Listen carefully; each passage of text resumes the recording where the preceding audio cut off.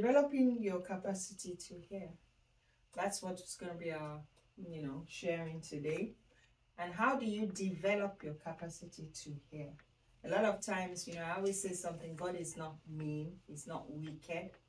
Many times, He gives you instructions, He gives you directions.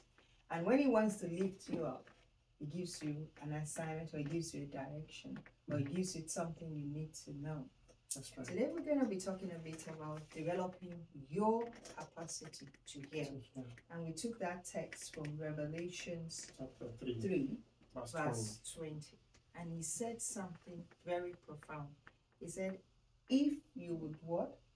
Open the Hear my door, voice. hear my voice, and Open. open the door of your heart or your mind to hear it and to what? And to allow me to come in. I will dine with you. And I think you stress that area of him dining with you. I mean, let's just place a picture of you sitting with the Lord Jesus and he's dining with you, just sitting there and being with you. Mm. How will it be? Everything about your life will be transformed.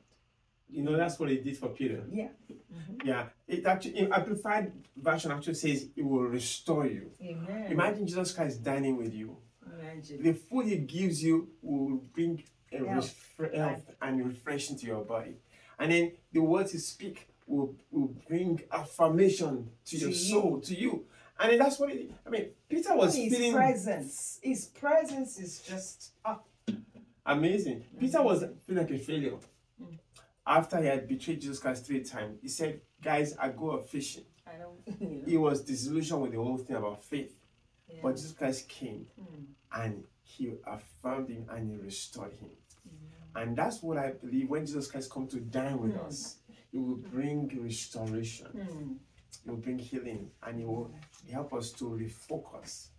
But it must happen when we hear his voice. Revelations 3:20. If I behold, I stand at the door of your heart and I knock. Hmm. He said, if anyone hears my voice Hallelujah. and Is to opens the door, Is to hear. He oh, comes to the- knock. yes, He wants us to hear. That's correct. Mm. The, the, the beauty of hearing his voice. It will solve you, it will save you so many problems. Mm. Instead of knocking, getting your head knocking against the wall over and over, coming all kinds of crises from one crisis. The beauty of hearing his voice. Lord will spare you all that. Mhm. And that's why I want to just share with you four points that I believe will help anyone Mm. to be able to develop the capacity to hear Mm. the voice of the Lord. And number one is tune out The noise. the noise from this realm. Mm. As a Christian, we live in two realms. We're here, Yes. but we are also raised up with Christ, Christ. seated with Christ in the heavenly places. And that's why we must hear what heaven is saying.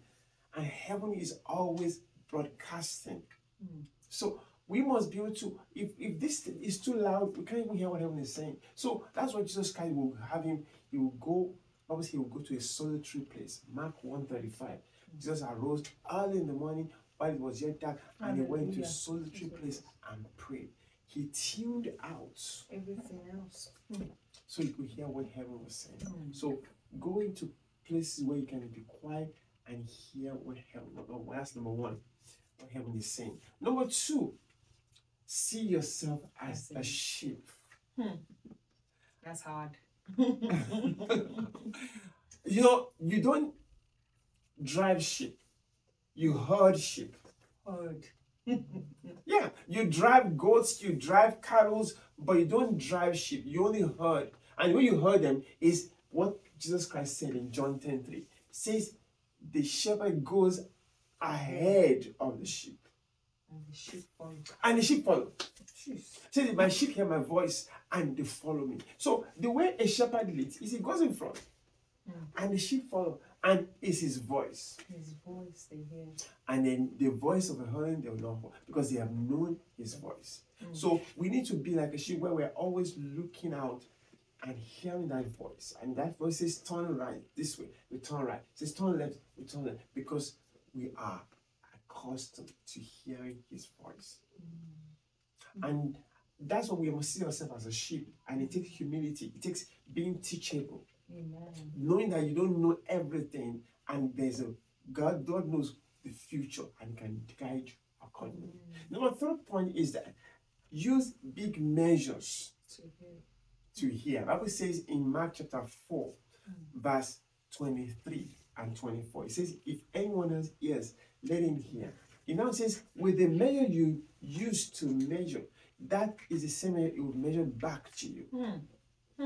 Hmm. The measure you use, that means the effort and time You you create to be able to wanting to hear Hmm. will be the time of Restore. power that will be restored back to you. In other words, Hmm. you can either use a measure of a teaspoon to hear God's voice. You can use a measure of a bowl to hear God's. You can even use the measure of a drum, Hmm. or you can use the A measure of a big truckload.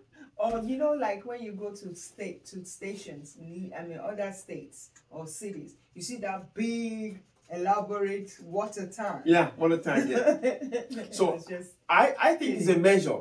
Because if only you only have a time of hearing only on Sunday when you come to church and the rest of the week that's not enough. you don't even hear the Bible, you don't have anything, your measure is small. But if you're a person that comes to Sunday worship service, you come for the midweek service, then you have your own time every day where you hear His word and you have your own quiet time. And then in the meantime, you have books you read, you have um, sermons you listen to. You know what happened? You have a big measure, you are measuring. And that's the amount you- of power. and- That's what it Yes. That's what- that's the virtue that comes to you. The amount of thought and study you devote to the word will be the amount of virtue, Virtue. and power that will be measured. And I think that's one thing that is missing in the body of Christ. That's why there's no power, there's not much because nobody, everybody's waiting on just the pastor to teach, and they don't spend as much time in accumulating, in allowing the word of God to fill their hearts in such measurable, such big amount. That is correct. You see that people who are doing great things for the kingdom, the word of God is constantly, constantly, constant. constantly going. It's constant. We need to hear the word of God all the Mm. time.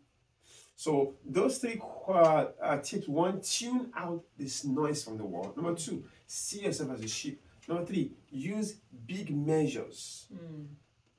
Create time and effort to wanting to hear the voice of God. And the third one, obey promptly. Mm.